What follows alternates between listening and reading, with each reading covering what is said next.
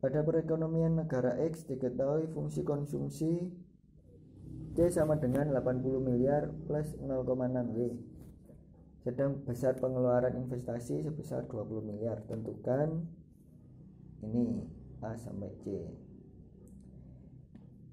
Yang pertama mencari pendapatan nasional keseimbangan itu rumusnya Y sama dengan C plus I.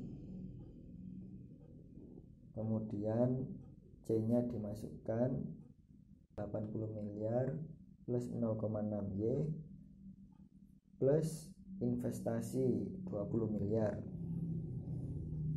Jadinya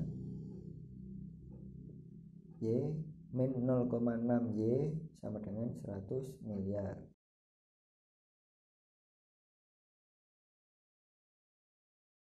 nol koma empat Y sama dengan 100 miliar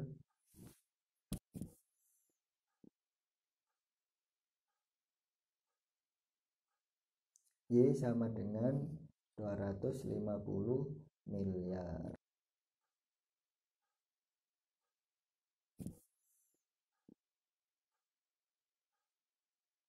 Untuk mencari besarnya konsumsi keseimbangan, tinggal dimasukkan saja fungsi konsumsi ditulis kemudian y nya dimasukkan 250 miliar sehingga Y diganti dengan 250 miliar. Ketemu hasilnya 80 miliar plus 0,6 kali 250 150 miliar.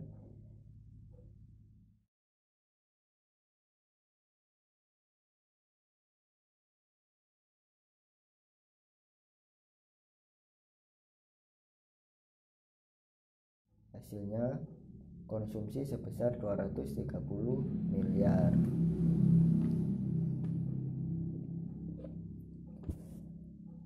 Untuk mencari besarnya tabungan keseimbangan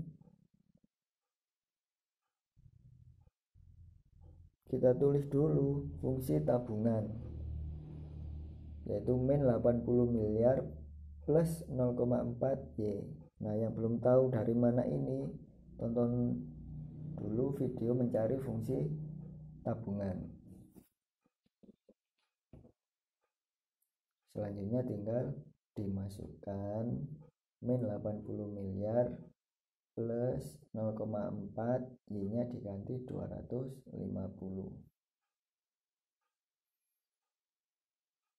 jadinya min 80 miliar plus 100 miliar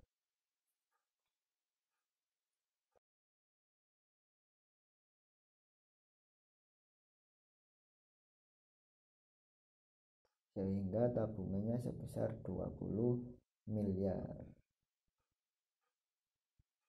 Share ke temanmu yang lain agar video ini lebih bermanfaat. Sekian